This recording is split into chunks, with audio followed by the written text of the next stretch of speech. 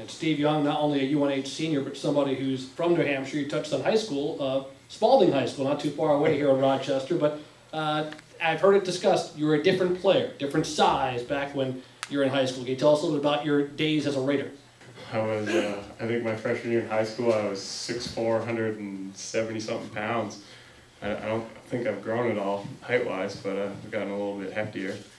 And uh, you know, started out as a quarterback, wide receiver, and then I pretty much played every position until my senior year. I was a uh, tight end, D end, uh, linebacker. So yeah, kind of played a little bit of everything at Spaulding High School. So you were in your 170s in high school, and as we talked to Steve Young on this Monday night, what, what's your current weight?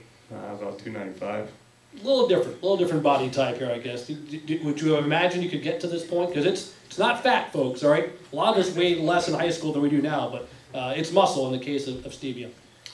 Well, uh, you know, by the time my senior year rolled around, I was closer to, to 240. So, uh, you know, coming in, they told me that, uh, you know, I'd be putting some weight on, and uh, they told me I'd be close to 300 pounds probably by the time I get out of here. And I don't know if I really believed them, but uh, I guess that's kind of what happened.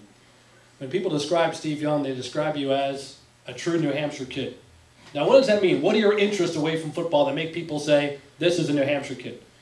Uh, I don't know. I guess people people think I'm kind of outdoorsy, I guess, and uh, you know, I I, I drive a pretty large monster truck, and uh, most of the people in the room have seen it. Um, and you know, I just kind of like to you know go fishing and just kind of uh, you know just get outside, and you know, I got the uh, New Hampshire tattoos, and you know, just kind of proud to be from where I'm from. Uh, and, and yet that's representing New Hampshire so well. I can see people saying, yes, that is a New Hampshire guy. He's from here, and to, to be a Wildcat, that's got to make. I know other guys come here. We've spent every Monday we talk to a different player, and most of them are from other parts of the country. Didn't even know what New Hampshire was. You've always known, and so it's got to have a little extra meaning to, to suit up and be a Wildcat playing for UNH. Yeah, I mean, uh, when I was getting recruited, I, uh, you know, had a couple options, and uh, I actually came to this camp going into my senior year, and I, uh, I committed that summer.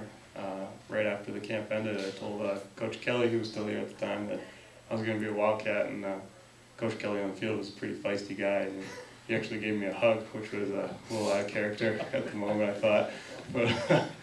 It, uh, you know, I, I kind of wanted to stay close to home, and uh, you know, I was given the opportunity to play here, and uh, you know, I'm happy that I'm here.